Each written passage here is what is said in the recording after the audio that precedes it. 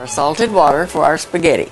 I'm going to break this spaghetti, and our true Italians won't do this, but since I'm just part, so I'm going to break it because it's easier to cook and it's easier to eat.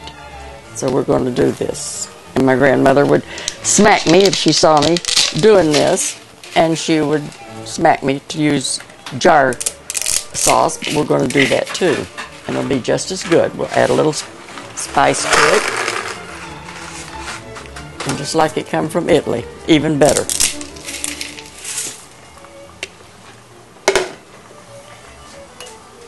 And we'll mix it so it won't stick together. 10 15 minutes because then you're going to bake it when you put it together. Add two cloves of garlic in our pot, chopped garlic, and one chopped onion.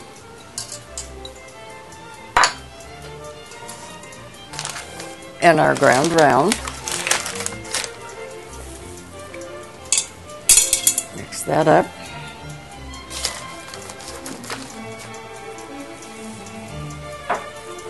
Okay, we need just a little bit of salt with this.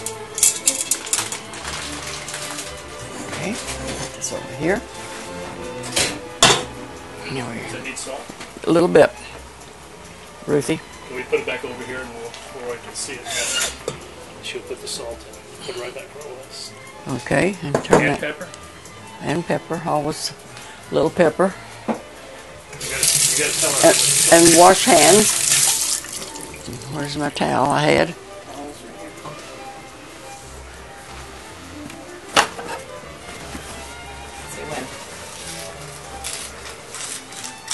That's good.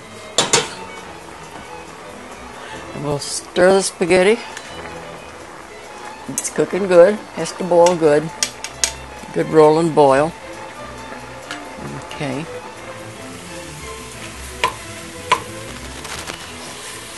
We'll chop this up so it won't be too chunky. Sometimes I put in the food processor and it makes it too fine for some people. So we just use this little apparatus chopper and work just fine. Italian seasoning. Just, I don't know about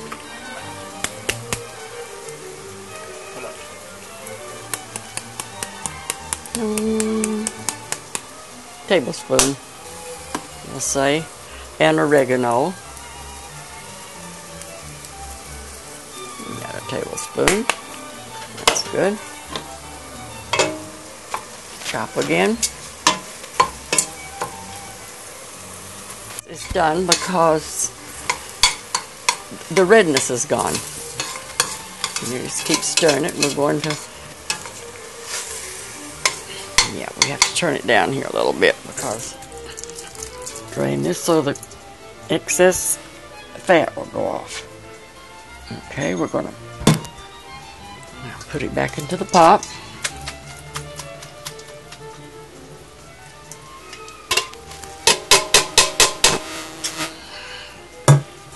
Okay. I use two two sauces. Sometimes the spicy sauce that I like is too spicy for a lot of people. But then I use a little bit of Prego to go with it. I get this is um, Priano. Get it from uh, where do I get this? Aldi's. And it's real spicy and good. So we're going to add this. We're going to put some tomato paste in here so it'll it'll help thicken it up. Don't necessarily have to use it all. And you can all you can put it in the freezer. It'll it'll last good in the freezer. I do it all the time.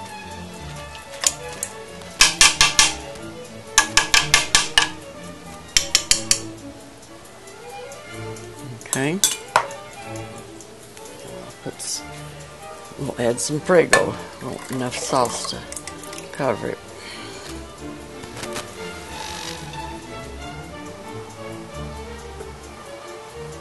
Okay.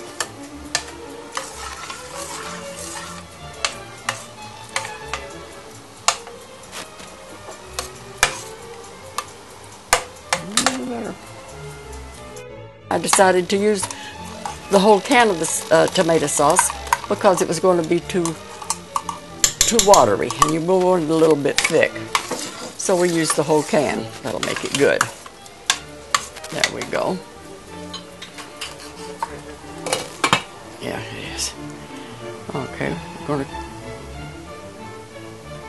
turn this down and go low. Sorry. You rinse it with cold water. Always. When you're making the spaghetti pie or the lasagna or anything like this. But if you're just making a regular pot of spaghetti, you don't rinse it. So the sauce will stay stay on the spaghetti good. But you want this to go to be taken apart. That's why you rinse it.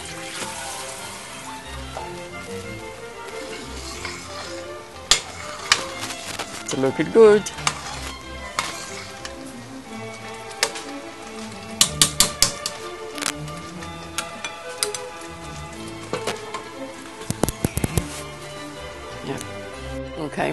We need to take the acidity out. We got to have just about a teaspoon of sugar to add in here.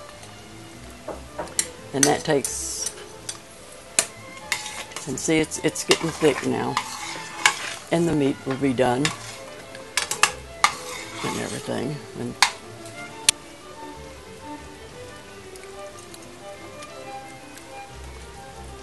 hmm It's good.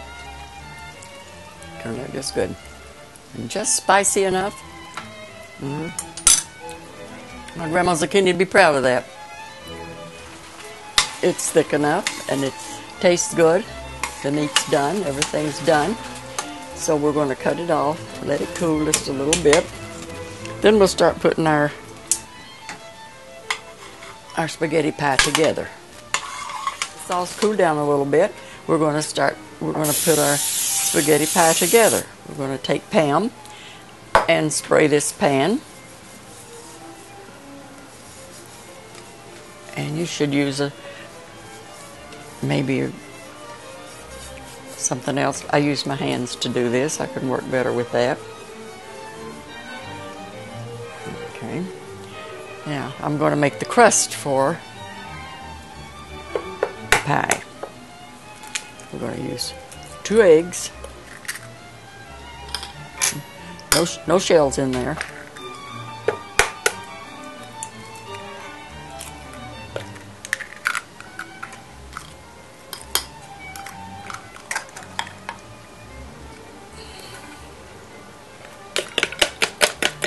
Beat this together.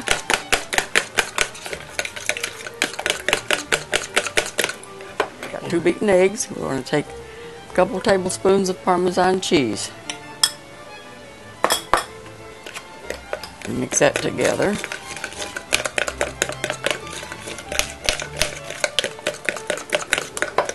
We'll reach in, get a handful, maybe two hands full of spaghetti. Mix that up real good.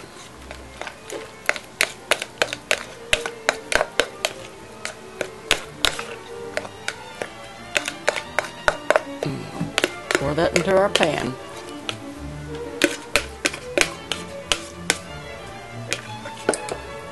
Spread that out.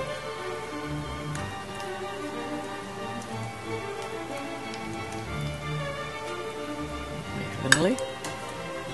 Could be a little bit cooler, but that's fine. Sometimes you have to use hands, you know. They were made before the spoons anyway, as long as you wash them and keep them clean.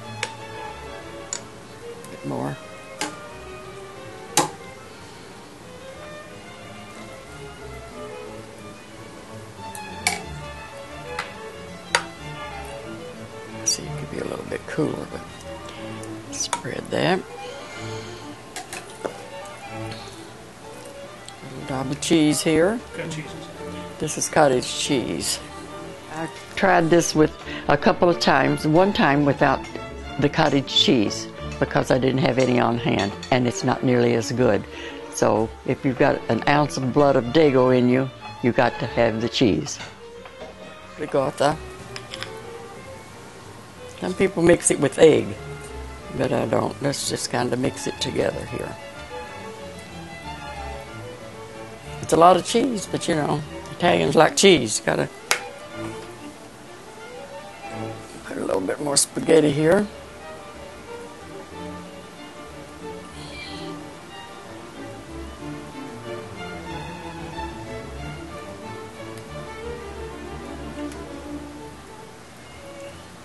A little bit more sauce.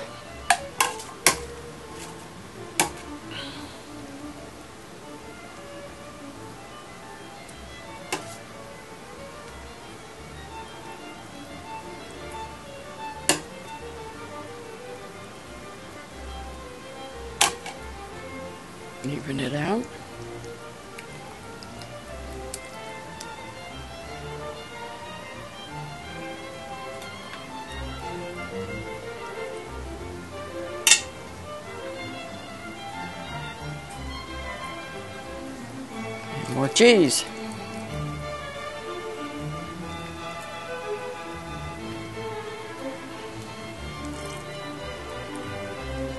Using two spoons here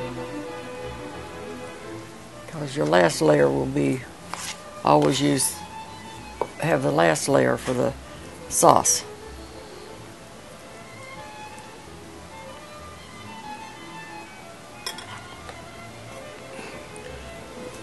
Bit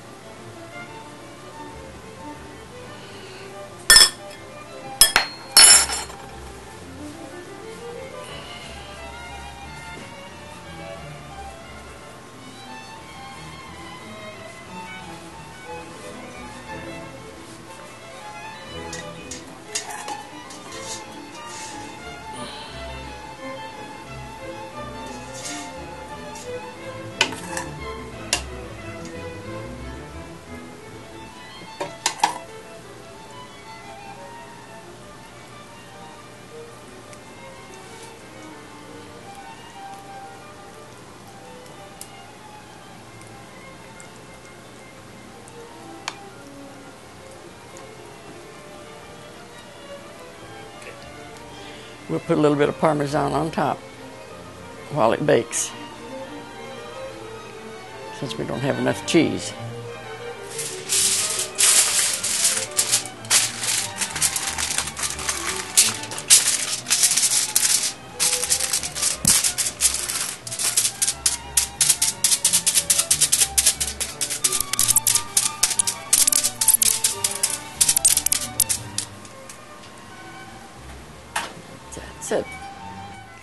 We're going to see if the Parmesan cheese is melted a little bit the last five minutes here to see if it's ready to come out.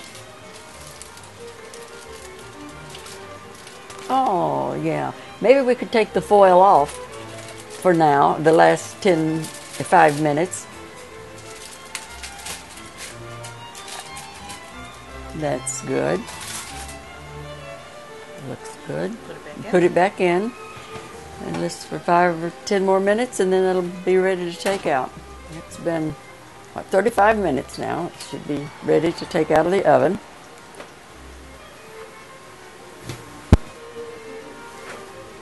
It looks good.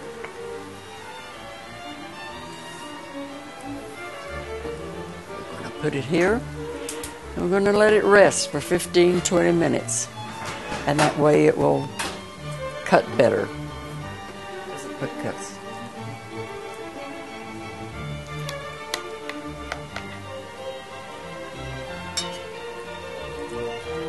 First slice is always a little sloppy.